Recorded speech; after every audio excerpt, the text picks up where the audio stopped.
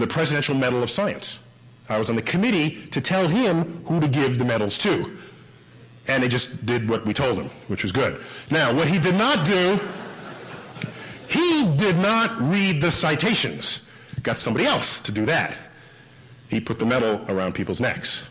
But I was invited to the ceremony. Here's the problem with this comment.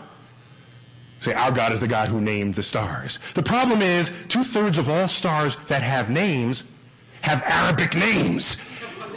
I don't think he knew this. That would confound the point that he was making. Arabic star names. Okay, you ready? Here they are.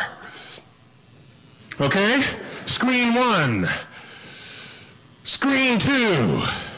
Every one of these stars, among the brightest stars in the night sky, are Arabic.